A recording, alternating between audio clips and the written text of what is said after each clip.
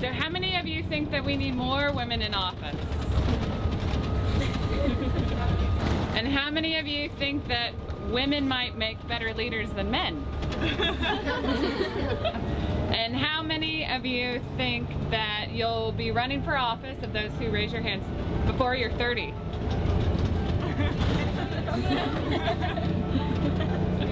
Only, how many is that? Three?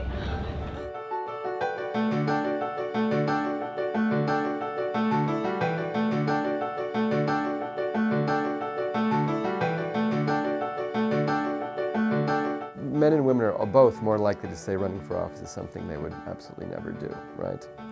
Uh, but women, 40, over 40% of the potential candidates we surveyed in 2011, these are the people that are well suited, you know, school principals and business executives and lawyers. 41% uh, of women said that they are, you know, would never run for, run for office. That's something they would never do, right? And that was up from 2001 by about 10 points.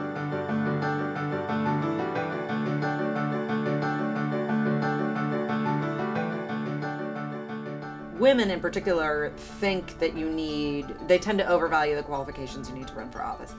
And they tend to undervalue their own qualifications. And we see this all the time with the young women we serve, and even with adult women, I saw it emerge, that people think you need to have like three law, you know, a law degree and three PhDs so to run for school board or city council. And in fact, if only.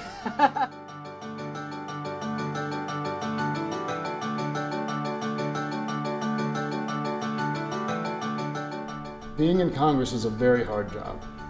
It's a very hard job, and particularly for someone with children and young young children. Um, I don't know how people like Debbie Wasserman Schultz and Kirsten Gillibrand and Linda Sanchez do it, but they do do it because they consider the the um, the rewards, the psychic rewards, to be that significant.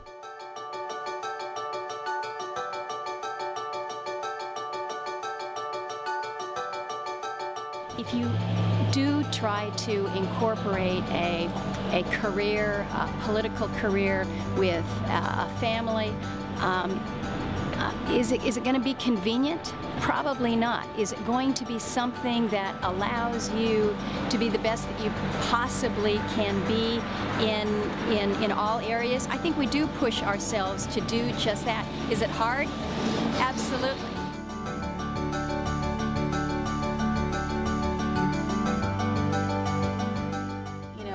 My dad used to always say, Tiffany, if you want something that you've never had before, you're gonna have to do something that you've never done before in order to get it.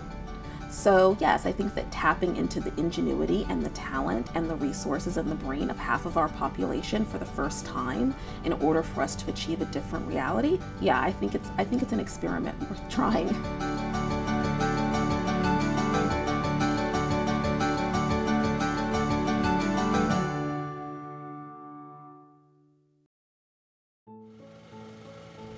Growing up in the 1980s, I grew up much differently than my mother or grandmother's generations. And although I feel very lucky to have grown up in the United States, I still don't understand why there aren't more women in political office. After all, this is the 21st century.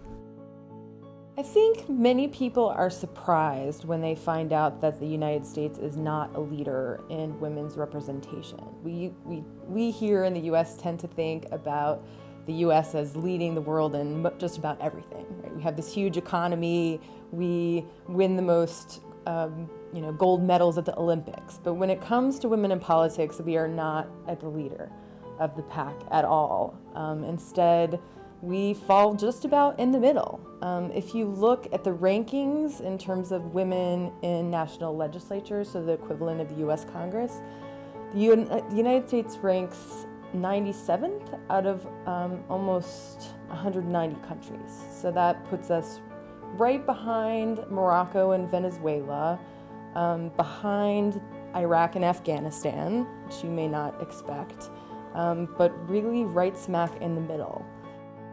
When Condoleezza Rice was, uh, you've heard this before, negotiating the governments in Afghanistan and Iraq, the structure of those parliaments, she was insisting on 25% women, you know, that there were thresholds. We don't have that, right? I mean, but yet there's no outcry in this country to have sort of greater inclusion of women in top elected positions.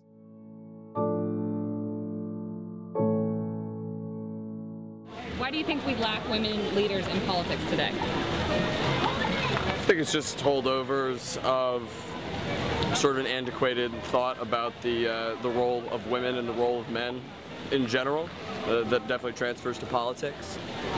Because of men. men do not want to be told what to do by a woman. My opinion. You know, founding fathers, all male, you know, so I think that's still obviously part of it. The feminist movement of the second half of the 21st century led to many gains for women, but the amount of women holding political office is still extremely low, even though more women have entered the workforce and are working in positions previously dominated by men. The first woman wasn't elected in her own right in the United States, to the United States Senate until 1978, right? Really, it's not long ago, right? So part, it was just an, it was just anathema to whatever happened. It just was not something that would normally happen. Now, of course, that is a form of discrimination, assuming stereotyping people into their roles and assuming that they could only do those. Men could do these roles, women could do those roles. You know, that is a form of discrimination. But now breaking through, we studied, there's tremendous research about whether women can raise as much money as men, whether they get the same number of votes as men, whether they're as likely to win when they do run. And all of those suggest there's no broad discrimination against women anymore, right? Um, broad intentional discrimination. Now, we've found that women are a little less likely to be recruited sometimes, like I was mentioning party officials. They're less likely to have people suggest to them that they run for office, even their family and friends, right? So that, but we would say that's probably the vestiges of traditional gender socialization still playing out and still very present in our lives and politics. I think that younger women really take for granted the, the gains that have been made in such a relatively short period of time and that it's really important for them to look back and see what it was like. When you opened, if you needed or wanted a job, you had to go to the help wanted female sector of the population. When contrary to myth, homemakers were not better off than they are today. They had almost no rights. There were only eight states where they had any legal claim on their husband's property. There were head and master laws.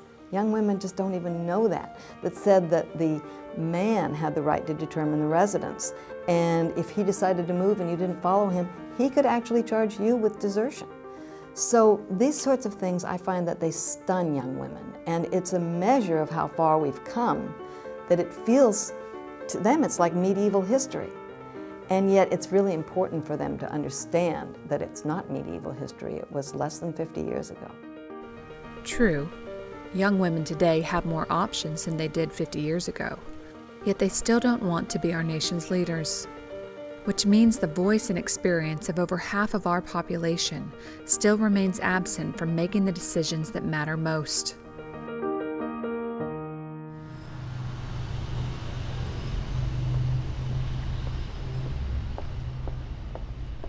I feel like I got involved with politics from birth. I was born to parents who moved to Los Angeles to actually join the Black Panther Party. And they named me after the prison in upstate New York because I was born a couple of months after the riots there. So I was really born into politics. And I've always done human rights or social justice work, done work with labor unions, activism work, and that just was a natural fit with uh, political aspirations and interests. So um, after our chief speaks, we are going to have you all stand up and you're going to hold it. Gender is definitely a challenge to running for office. I look at Louisville Metro Council, where I serve as a council person, and of the 26 council people, you literally have a handful of us who are women, I mean less than half. And so that says to me that one, women are not being encouraged to run. Two, I know from my own experience that I have people ask me questions like, oh, you're a mom with two kids. How are you going to juggle all of that? Well, how do the men do it? Because they're fathers of children as well, but they get to run for office, and that's okay and expected. So there are different expectations of us. People look at us differently. I even feel like people criticize us more as women for the decisions that we make or uh, what we do to lead.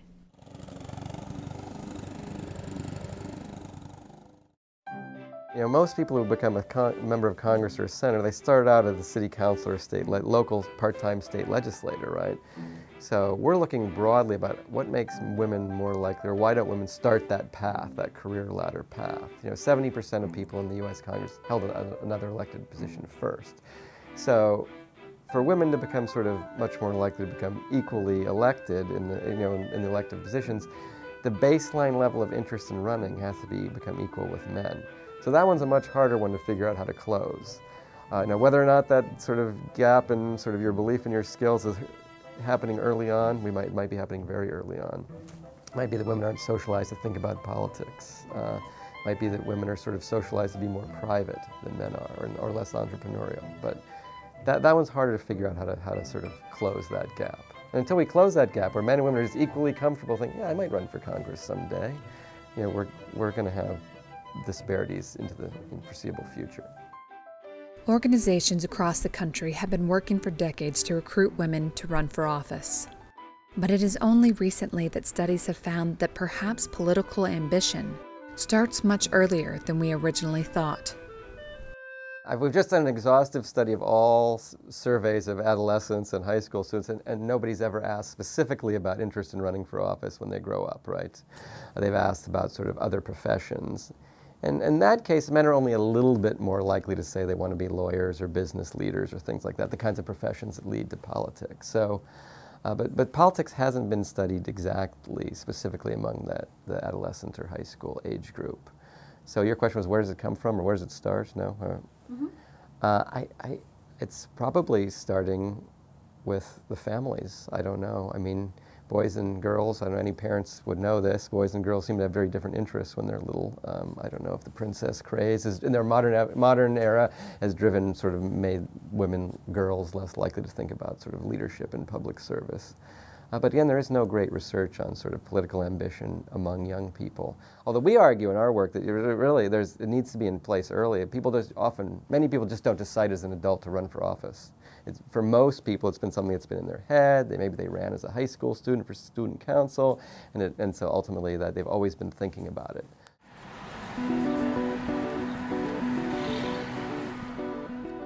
Running Start is an organization that works with young women, high school, college, young professional women, and encourages, encourages them to actually get into politics and run for office. I spent a lot of time on Capitol Hill lobbying the people in power. And I would come back and I would have lunch with the other young women associates, and we all would talk about how there were no women like us who were in those positions of power. And so that's why in 2007 I founded Running Start because what we really needed was to get that message to younger women so that they would grow up thinking, you know, when they dream about what they want to be, that being a member of Congress, you know, even being a school board member or being president of the United States becomes one of the things that they dream about. So what have you all been doing for the last few days and why are you here? Um, we learned a lot about networking and we networked with each other and we passed around business cards and we learned how to talk, meet new people and talk to new people. Um, my favorite part has been learning about the, the different skills that we need to succeed in business and in politics. And I think it's really important because as young women, we need to learn these skills early so that we can, um, we can excel because a lot of times the, the, people who really get far are the people who start early, and that's something that we're trying to instill in all of us, and we're trying to learn. So.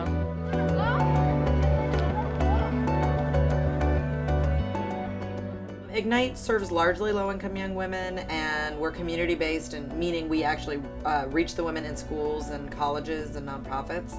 Um, and the reason we do that is because we want to cast a really broad net. Not a lot of there are a couple programs that serve young women, women in high school and college, but they tend to be um, residential and kind of short in nature, and they cost. And so you really are reaching kind of a, a very select group of young women. And we wanted to make sure to cast the net as broadly and widely as possible so that we can reach women who. Um, you know, who might not apply for a residential program, who might not even be able to apply for a residential program. But that have skits. And you definitely have like the definition, what is dating violence, the phases of it, and what are you know, we have high school students and we have college students, so it's really different for that for those groups. I'd say with high school students, they just don't know anything. um, so it's just kind of a, you know, the the thing we hear the most from them is, you know, there's so many problems in my community and I want to fix them, but I just don't even know where to begin. Um, the college students come in uh, with more information and they know a lot more about about the structure of government. Um, but they sort of the thing I see the most with the college students is that they want to do something, but they're more comfortable being behind the scenes.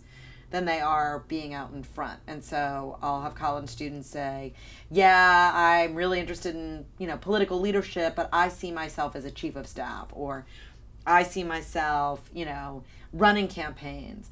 Um, and there's something deeply uncomfortable for them about envisioning themselves as the person in the front for whom everyone else is working.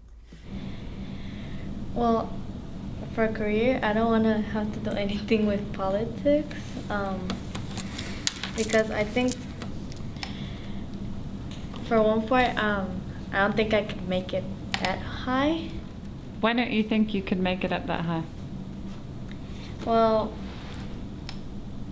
because I don't know, I'm just not confident. I just like, I see myself more as like a doctor. Like, I don't just I just don't think of like me ever being able to make it up that high.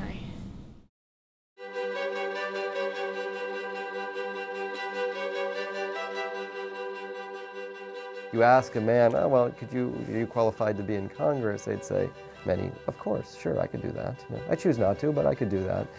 Where women have not sort of don't have that comfort. Now maybe this is something that'll evaporate over time. It didn't evaporate in our 10 years between our two surveys, right? Where women just begin to more heavily in, inhabit sort of the top rungs of business and law and at universities and, and organizations, political organizations, that they'll just become more comfortable sort of being glibly ambitious, right? Now, I don't know if that would be an improvement. Something we did know is that women actually are much more thoughtful in how they think about whether they're qualified they like think we ask them, well, what skills do you need to be a politician or to be a high-level elected official? And they say, well, you need A, B, C, and D. You need to be a good public speaker. You need to have knowledge about public policy issues.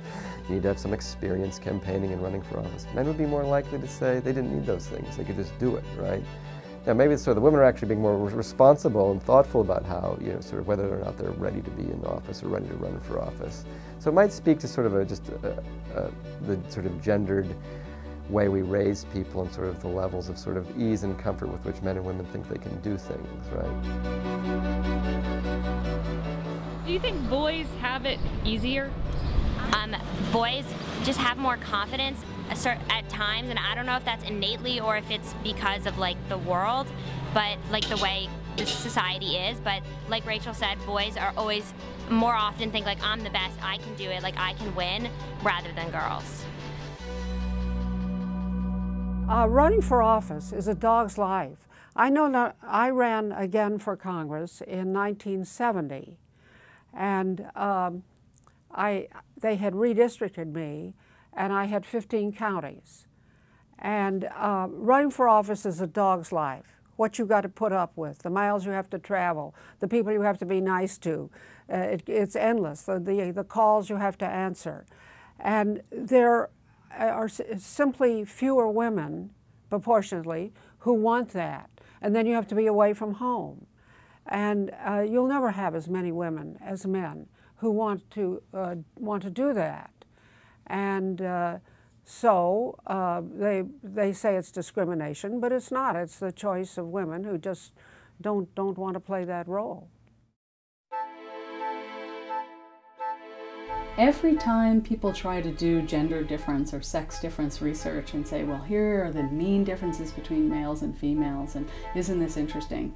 If you compare that to arbitrary difference between individuals, say the difference between you and I, who are of the same sex, our difference is going to be bigger than that average difference between males and females. So they're not as big. You know, we make them bigger than they are. I do really think that that's the case, that if we provide the opportunities, we encourage the open thinking that, um, that males are given in female populations and young females will get the same kind of experience. We'll get the same confidence. We'll get the same self-esteem.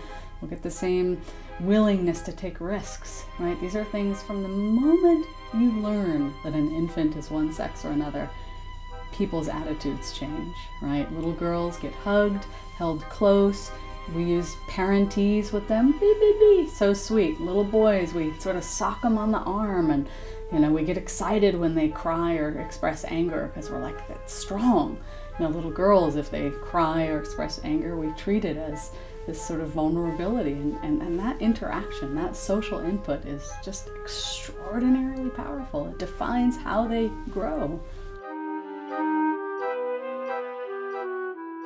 Well, I don't think that there are any inherent differences between men and women. Men can be uh, just as nurturing and warm as women, and we've seen this, and women can be just as ruthless uh, and macho as uh, the Terminator, you know? Um, however, because we've had different experiences, uh, right from the very beginning, uh, we know that um, parents treat their daughters and their sons differently. They encourage the boys to explore more than they do the girls, but they encourage the girls to read emotions better.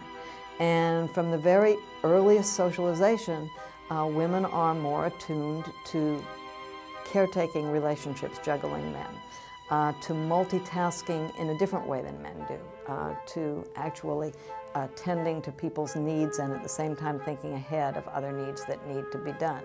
Uh, so they bring those, those skills. I don't think they're intrinsic. I don't think every woman has them. Uh, I think men can and are learning them. But meanwhile, as long as we play such very different roles, uh, women will bring extra insight that is important to balance the extra insight that men bring. Historically, women have always been the primary caregivers, and much of this hasn't changed even as women have entered the workforce. In fact, in the summer of 2012, Anne Marie Slaughter, former director of policy planning at the U.S. State Department, wrote an article that appeared in The Atlantic titled, Why Women Still Can't Have It All, where she described her difficulties with balancing her high profile position with her family obligations, an issue that many women still struggle with today, no matter the age.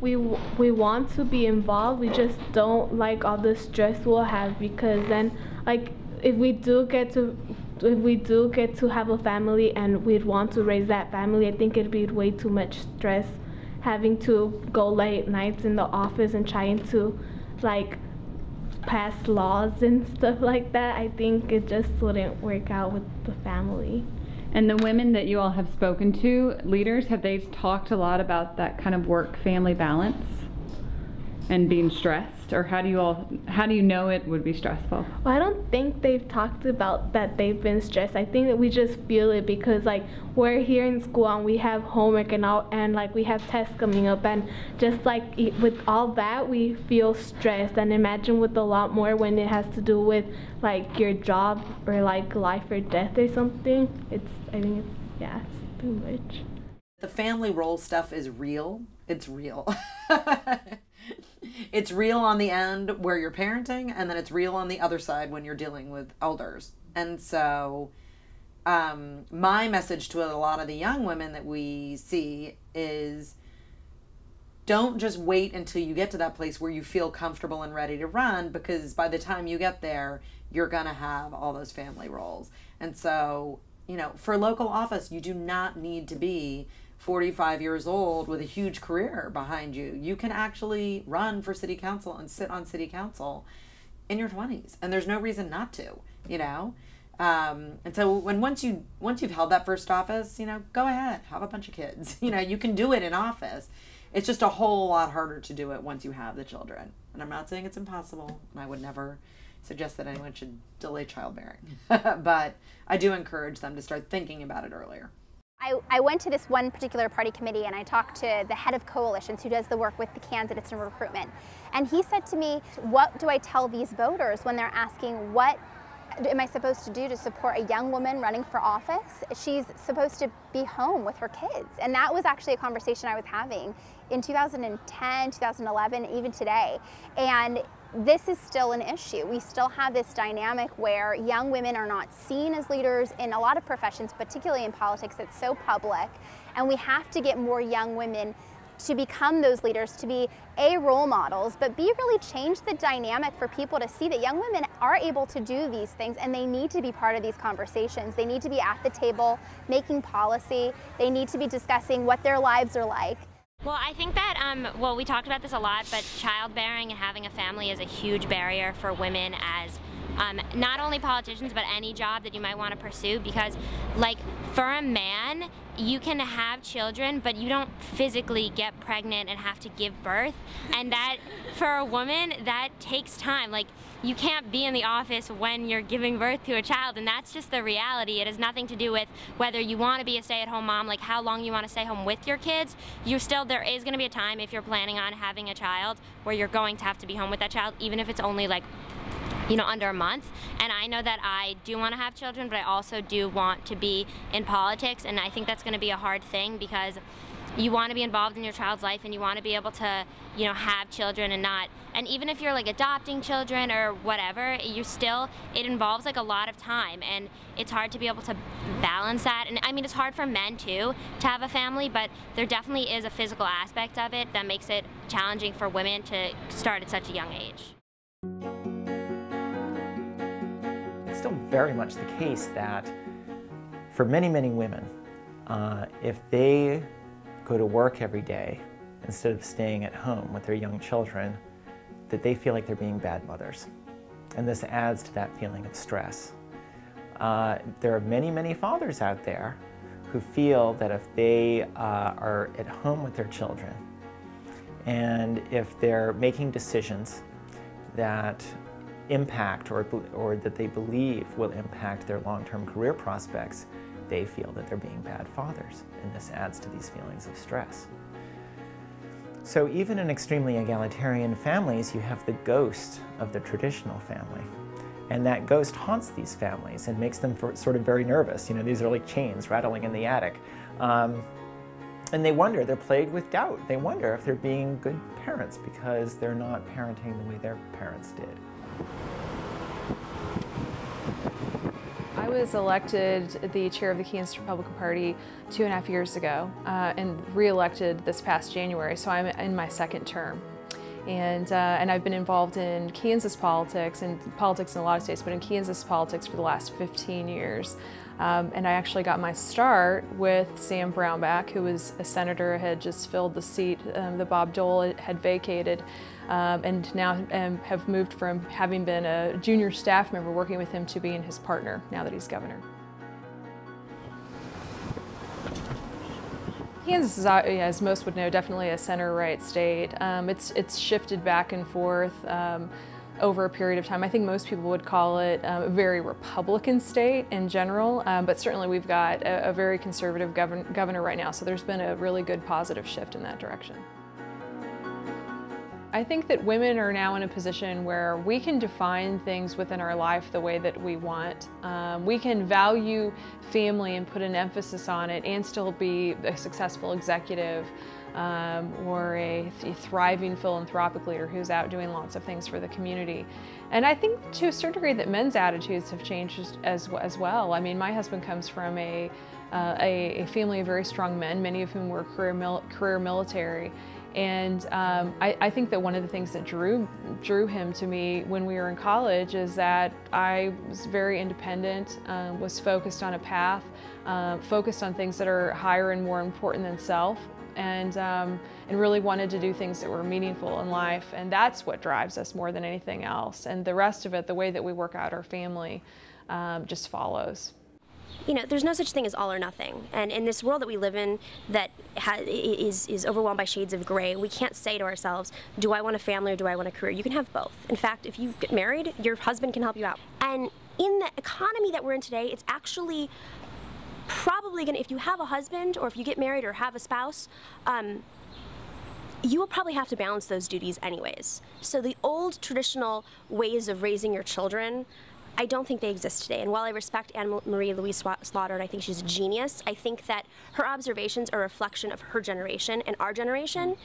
It just served as a fear mechanism for our generation. Perhaps the struggles with balancing work and family will never fully go away. But there are ways to make the balance easier for both men and women, like perhaps electing more women. Do you think things would be different if more women were in charge of our government? I really do. And how would they be different? Better. Everything would be better. Uh, everything is based on how a man sees things. Women are more nurturing and caring, and that things would be better if it was a woman. More fair. That's in politics, said. yeah. A lot of the, the issues that we face are not necessarily distinguishable on a gender basis, but they impact, they tend to impact women uh, differently than men. And so the, the ability to have people with bringing those perspectives to Congress is, is really important. The issue of daycare, for instance, is one that uh, most men don't really have to consider during their, uh, their lives, and certainly if they don't get married, they, they never have to consider it at all. But uh, most women have to deal with, those, with that issue at one point or another. The whole issue of reproductive health is clearly one that uh, is, is uh, something that more women are concerned about than men. Well, there's a lot of research that shows that when women are elected to office, they will do things differently, right? They will prioritize issues that are often you know, associated with women, like education, um, sexual harassment laws, and sort of do things that have been perhaps ignored in traditionally male organizations, like male legislatures. So they will push some alternative uh, legislative agendas. So not to have them in there then, to doing that would seem like our, our, the representation we're getting is not accurate, right? It's not fair. There's also been research that suggests that you know, women mayors or women state legislators or women in Congress actually have different styles of leadership, right? That they tend to be more inclusive, they tend to be more willing to compromise. Um, we haven't had any great studies lately that show that, and partisanship may have wiped out some of this, right? If you have to toe your party's line to keep your job, you do that instead of sort of being more open and compromising. So there is lots of evidence that suggests women would do the job differently. There's also just the mere symbolic value, or you know, does a government have legitimacy when you have 52 or 3 percent of the population are women, yet you know 15 percent of your national legislative body is women? Does that government have legitimacy? What's going on there? That doesn't make sense. We could also say that's true for certain races as well. I absolutely think that politics would change if there was a greater distribution of sexes in positions of power. At, at the most basic level, it would shift the trajectory of future generations, right? If that's what's modeled, like, look, the people who make decisions are equally distributed across males and females, then young girls who are interested in politics are going to go, oh, that's a place I can go. I, that, I, I, I am drawn to that. That really moves me. That's where I want to be. I see that as possible. Um, whether there's going to be a big difference in policy at the level of more conservative versus more liberal or more progressive versus more traditional approaches, I, I can't really make a, a, a, good prediction in that regard. I mean, a lot of the most outspoken, well known, highly conservative, non progressive figures are female. And I put the state government's checkbook online for all to see. In 2008, Republican Sarah Palin became the first woman chosen to run on her party's ticket as vice president. She was a new kind of female politician, and the media loved her. Came with the office. I put it on eBay. So, especially when you're thinking about what what a woman would do, the question is, well, which women are you talking about? And I think that's even going to be more the case as we see more conservative women enter, right? Because is the expectation that women are going to enter and immediately turn to maybe traditional women's issues like reproductive rights? Well, probably not, because when it comes to reproductive rights, women actually disagree with themselves more than they disagree with men. Right? So we can't assume that women are going to focus on any particular issue or that they're going to have any particular stance on a given issue. But I don't think there's a problem with that because I think that women should be there, they should be represented in politics regardless of what their positions or interests might be. I know some act, liberal activists who want more women to run, but you know they'll take a, a male liberal over a female conservative. But if you really, we have a two-party system. We're going to have a two-party system for the foreseeable future. If you believe in gender equality, then you have to have women in half the positions of both parties, right? I mean, otherwise, if you really think that the only legitimate system is one that begins to approximate what the citizenship looks like, you half men, half women, or even slightly more women than men then you know they have men, women and men have to become equally represented in both parties. Historically, women have been overrepresented on the left at both the federal and state levels, although this varies widely from state to state. Now, the good news for women is that when women typically run, they do pretty well. It's getting women to, to run in the first place. And so I think that more traditional cultures, it's, you know, maybe still less accepted that women take on that role of, of being candidates, um, as opposed to states that are more progressive. You tend to have uh, women who have been active in, in, in, many ways and often have the careers that lead into these sorts of issues, right? Uh, they're different, there's certainly people who are elected to state legislatures, excuse me, they tend to kind of have more professional backgrounds. Uh, they're business owners, they're lawyers, um, some, some educators, but there's often a correlation between education level and running for office. And so, uh, not surprisingly, in states where women are a bigger part of the workforce, they tend to be more involved in, in the professional workforce, they tend to run for office more than, than other states. Colorado ranks highest as the state with the most women representing its constituents in state office. It is also considered one of the healthiest states and ranks as one of the best states to live in if you're a woman due to high commencement, economic success, and access to full health care. Kentucky, on the other hand, has a low number of women serving in state office and ranks as one of the top five worst states to live in if you're a woman due to high poverty, low education, and a lack of freedom of choice. There is no substantial evidence that each of these states' rankings are due to the number of women they have serving in office, but one can't help but believe that women do make a difference.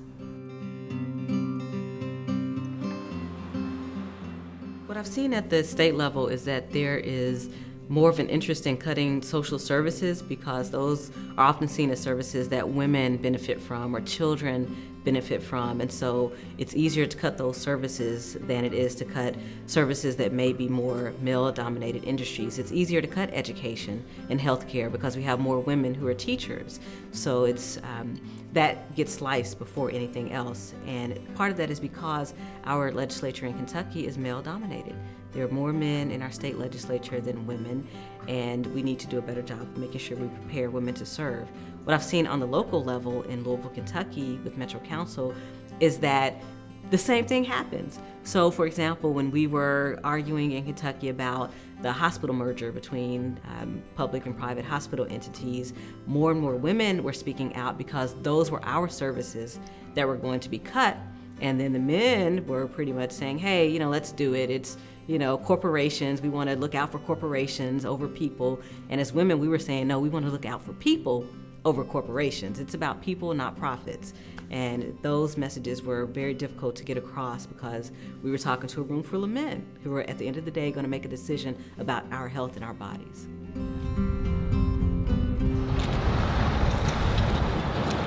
It's definitely a long district, just, you know, to travel. That's for sure. And How I many? felt it today in one day, just going to every single um, polling place that I could get to. Go Tiff! Woo! Uh, you know, supporting Attica is easy um, because she shares my same values. She believes in fairness for all people.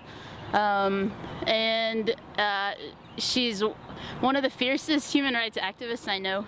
Um, and I think for Louisville and the challenges that we're facing, um, challenges specifically in Attica's district, um, we need somebody who, who has a lot of experience standing up for people, um, and Attica's dedicated her entire life to that. Who'd you vote for? Attica Scott from Metro Council District 1. it takes a lot to run for office. Money, time, and support. But there is no reason women aren't just as capable as men when it comes to leading our states or our country. I'm fully confident in women's ability to lead any political entity, and certainly to be Speaker of the House, to be President of the United States. And we've seen clearly their ability to serve on the Supreme Court and in many other capacities.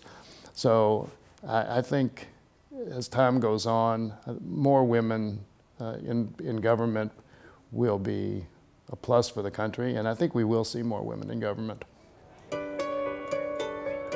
Well, thank you and good morning. I, uh, I was listening to the Congresswoman's remarks, and uh, she made the comment, you know, kind of the Nike "just do it" type of a, of a theme when you're thinking about uh, a future in, in any kind of politics, whether it's here in Washington, D.C. at the congressional level, or whether it's within your local community at the school board, the PTA, or the city council. It is a matter of just doing it. Kirsten Gillibrand talks about when she was in the House, when she was on the Armed Services Committee, she, at, the at that point, was one of only a couple women on that committee. And when Speaker Pelosi came into office at that point, she decided to double the number, or I think she brought in six women onto that committee. And the, the Congresswoman Gillibrand, at the time, the Congresswoman said, I really felt the difference in the dialogue. So we were talking about the war in Afghanistan and, and Iraq at that point. Instead of talking about what kind of guns we had and what kind of tanks we had only, we were talking about how our troops prepared before they go, how are our military families going to be supported while we're gone? How are we going to deal with the troops after? So the conversation changes. And so I think the most important the most important piece isn't that women are better leaders than men, it's that both perspectives need to be shared and that we're going to be making better decisions when that happens. And so I see the dialogue changing and I'm that's that's one of the big pieces the perspective. But the other piece is the role model piece. You just don't that I cannot underestimate the power and the, the undervalue, if you will, the, the value of role models. And in 2009, uh, actually, with Running Start, we had 30,000 high school girls apply to our 50 spot program. And that to me was an indication that when we had, you know, Senator, at the time Senator Obama, Secretary Clinton, and um, even Sarah Palin running for office, they saw different people running for office. They looked different. They didn't look the same that young women had seen, and they thought, hey, this is a place for me, and why don't I try this out? So I think we just tend to undervalue the role model piece, and that's that's one of the things I definitely am seeing shift when you have more of a critical mass of women here in Washington. So I just graduated from high school and I'm managing uh, this women's campaign. I worked for her as an intern uh, last year in a special election. She actually ran and won uh, as an independent, which is really rare um, everywhere. And in Missouri, she was the only independent in the House. Um, and so I'm managing her campaign this summer, uh, and then I'll be going to Wellesley um, in the fall, hopefully to study public policy, but we'll see. Yeah, before I worked for her, I would I would have said I would never run for office, but um, she changed my mind, and the progressive women that are a part of her community changed my mind because I, I see how hard they work um, in the state house and for the things that they care about, and I think it really does make a significant difference in the way that we talk about things in Missouri.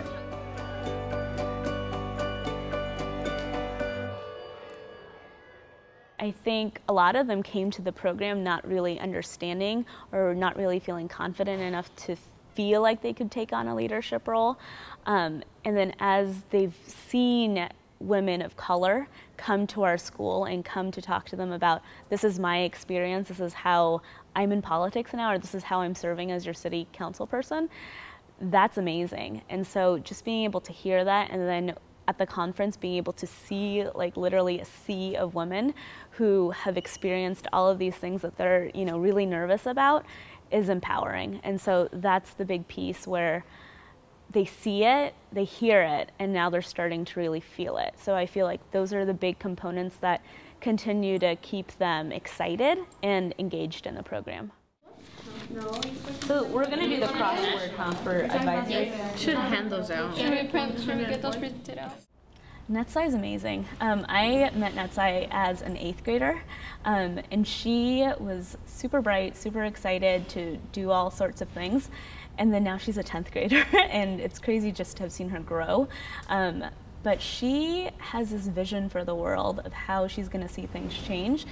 And she's literally like thirsty for learning action steps and trying them out. So in just I just want to go back to your question before about um like the fact that um, I wouldn't want to be pres- run for president or office um, is that because of all the stress or is it because I just don't think I'm capable of getting there? I just want to say that I feel like I am capable and I think that like anyone who is very motivated and just puts in all like a lot of effort, I think that people can do it. If you really want something, work work for it and you can achieve it. That's the way I think. Young women today are graduating at higher rates than men. They are striving to be doctors and lawyers, as well as teachers and mothers. And through organizations like Ignite and Running Start, they will begin to also strive to be our nation's leaders. Because in order to improve our nation, more women must be present at the decision making table. So I think the, the evidence is the strongest um, that having women in power changes people's minds, it affects attitudes. It also affects the, the perceptions and attitudes of young girls. So the studies have consistently documented, both in the United States and around the world, the places that have more women in politics have young girls that aspire to political leadership. They espouse greater interest in politics. They know more about political leaders and political issues. So these things matter. Well, when I was growing up in the 1960s, there were not only no mentors, there were no role models. If you went to a movie, all the movies were about these male heroes. And the only time the male Hills got in trouble was when some stupid woman did something like say, oh, I dropped my shoe, let's go back for it. And so as a woman, you found yourself rooting against your own sex. I mean, this has been a tremendous change that young women, I think, really need to appreciate and how different it was when you had no role models, no mentors. And in fact, there have been many studies that suggest that some of the earliest women who did make it were not good mentors because they had gone through such hardship themselves that they'd had to just sort of toughen themselves up. I think nowadays women are more supportive of, of other women, and increasingly men are more supportive too. I mean, what is interesting to me is to look at all the homes, uh, uh, when my students get married, for example, uh, and I'll visit their homes, uh, the boys have exactly the same aspirations for their daughters that they do for their sons. And that makes a huge difference. It's not just female mentoring, but dads who have confidence in your abilities. That's really important for women. I felt the transition happening in the last year or two in terms of people. I mentioned this earlier, but we are talking to the White House about this issue. We are talking to very nationally connected people that we know, companies, there's a ton of companies that care about this work. And so I have seen a shift in terms of people's perception around why we need to get more young women engaged. So I can feel a momentum shift sort of happening, and it's been seven years now we've been doing this. A, on the nonpartisan front, but B, on this need to get more diversity and more women involved in leadership. It's really taken off. So I, I my sense is in the next couple of years, we'll really see a momentum shift. Uh, as I mentioned, we have more women running than we have before, and it's really a numbers issue in a lot of ways. It's getting women to see, get past a lot of their own concerns about it, and also being encouraged. And so it's a whole confluence of different organizations. And we work with a whole cadre of other organizations around the country that are working to get more women supported to run. We're the Roberts. Kennedy was against us. just so shocking. Yeah. Can I have everybody's attention? I want to introduce to you not the Metro Council selected by the Metro Council, mm, but the People's Metro Council.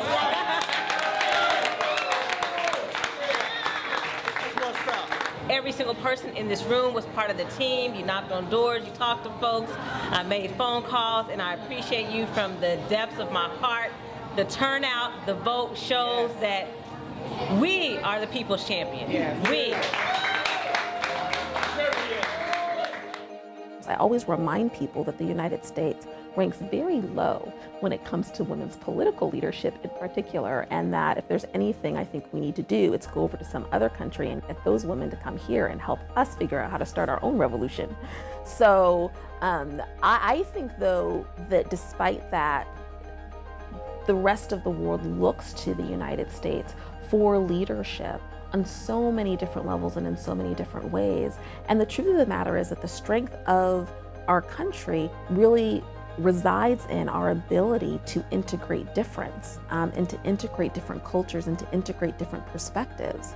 So it's really um, a testament to, I think, a misstep that when it comes to women's leadership, we haven't been able to realize that. But I also think that that's where most of the hope and that's where the opportunity lies. You know, in other countries, they've adopted things like quotas, all kinds of different policies and practices in order to really facilitate this process of getting women into leadership. And I actually still believe that America could be the one place in the world where we could arrive at it through the power of our work, um, our hope, our drive, our culture, I, I, still believe that it's possible for us to do it. And I think that it would mean the world, of course, because once you've got people with different perspectives at the highest level leading, it will make an impact in the decisions that are being made. Like the place where I live and like the school that I go to, no one really talks about politics. Like we talk about them, but they're kind of taboo. Like I'll say something and they'll be like, yeah, yeah, Parker, go do your own thing, you know, I understand, but we're done. And here, everyone's so like willing to learn and willing to share and really want to do something in life, but not just to be, uh, like to have that job, but to make a difference. And I think that's, that's really special and great. When I was a child, I mean, like there was nothing greater you could do than become president of the United States, right? I think now you'd say that, I don't think parents are advocating that to their children as much as they used to. So we need to return public service to an honorable profession. And then we really have to figure out what's going on early because our evidence suggests by the time women leave college, and men women, there's already this gap.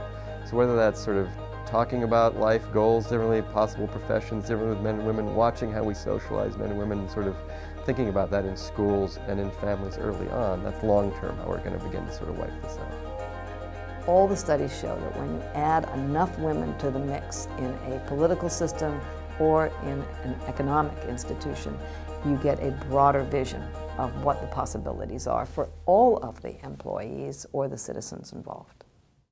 Who, who wants to be the future president of the United States? Specifically in 2040. That's the year I'm running. Are you launching your campaign right now? Yeah, I actually have a ton of people that are going to vote for me. I've moved schools, so I have people from both my schools voting for me, and you guys are all voting for me, right? Yeah, everyone keeps telling me they're going to vote for me. Yeah. I'll get you a. Let's just be real. If, if multiple people are running in 2040, it's going to be a really tough call yeah. for running to start.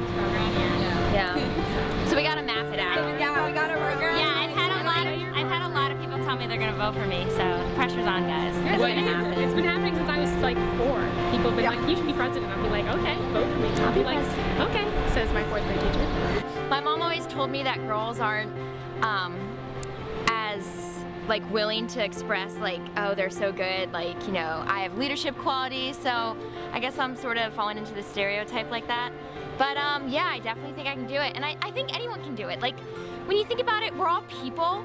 And so what makes one person, like why can't you do something? I've, I, I guess I've never understood why people think they can't do something because we're in this world and you know we're all equal and we're all the same and we all have you know sometimes people have I guess some people have more opportunities than others but I think anyone can do whatever they've put their heart to.